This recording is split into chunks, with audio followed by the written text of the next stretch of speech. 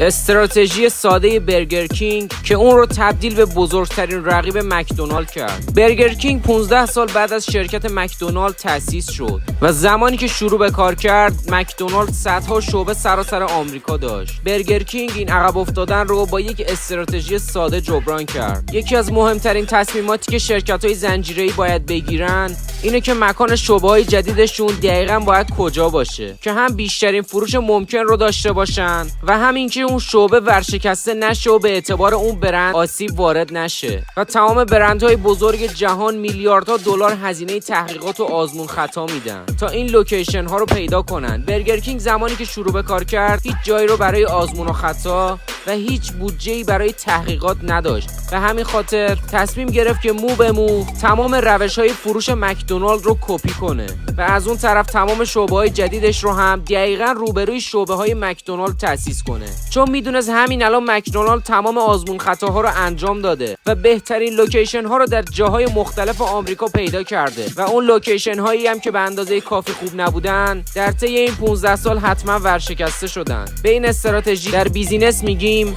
best practice.